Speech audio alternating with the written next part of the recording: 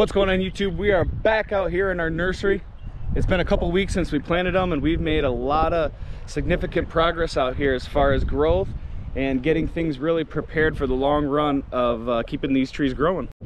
So one of the very first things we did was start to get our electric fence up. We got posts about 40 feet apart, three separate wires to it and that's just in order to keep the deer out because they will come in here and eat every little bit of new growth that grows on these trees and so when i'm talking about new growth you can see here that the shoots have come out where the buds were. Here's a better example. That's all new growth here in the last like five days. And that's what we have to keep protected because this will eventually grow into the trunk and that's what we'll use in the future.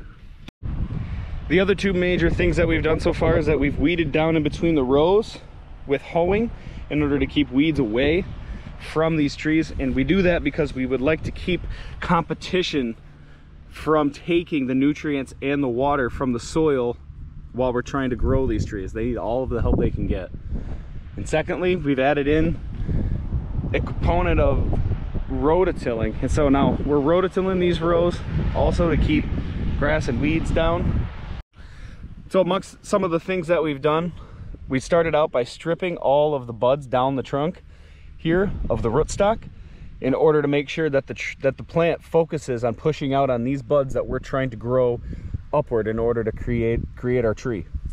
We had a question pop up in the last video on what's the advantage of grafting over onto a different rootstock. There's really two things to consider. It's the, your soil type and what type of tree you're trying to grow.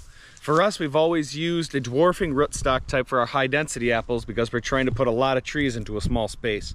But our new ones, the M106s, in, the, in all the nursery videos that you've seen, including this one, we've used an M106, which is more of a semi-standard type that won't require fencing and high density trellis work in order to keep it or keep the tree standing up. They'll be able to support themselves with their with the bigger root system.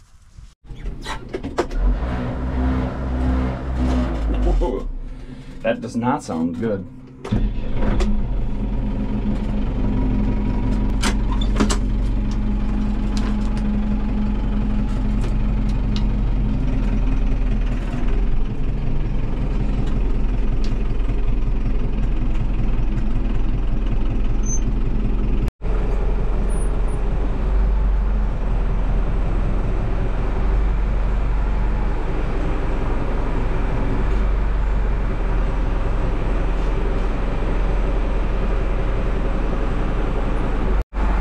This everyone's least favorite part.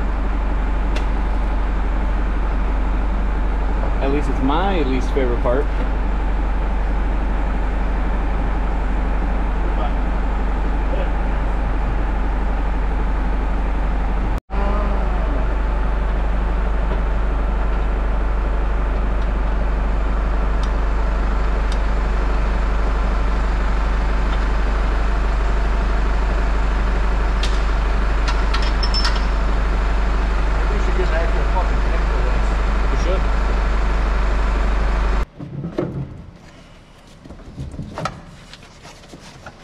Oh, I heard her click. Yep. She's in there.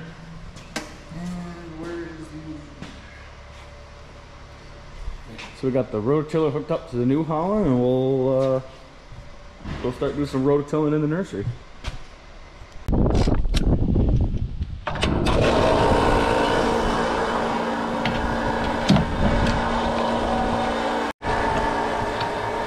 Is it is it ever really full if you don't try and get the last drops in there without overflowing her a little bit.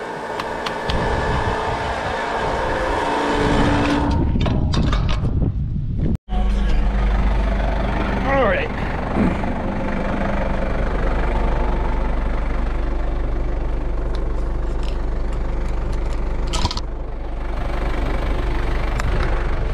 Wow, that was a pain in the butt to get that first one off. Sheesh, might have to talk to somebody about that. All right. Got the electric fence down here and we're gonna jump in these rows and start to rototill and see if uh, we can avoid hitting anything. Got to avoid the trees and our blue irrigation line that runs across the orchard in every row.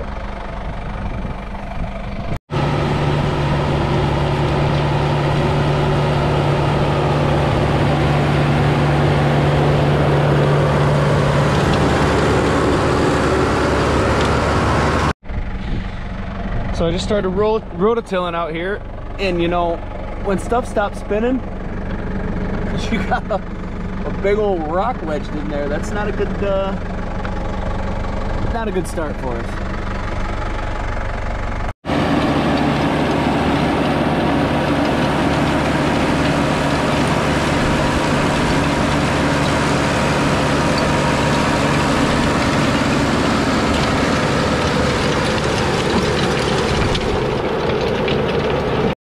Also wanted to thank everybody again for all of the overwhelmingly great support that I've had. I've received a lot of messages, a lot of great comments, and if you're still watching at this point here in the video, please don't forget to like and subscribe if you enjoy what you're seeing here on these videos. Next week, I think I'm gonna do a little bit more of some orchard maintenance stuff, maybe some weed control underneath the trees, maybe show a couple of our orchard mowers and how we maintain our grass and whatever else pops up.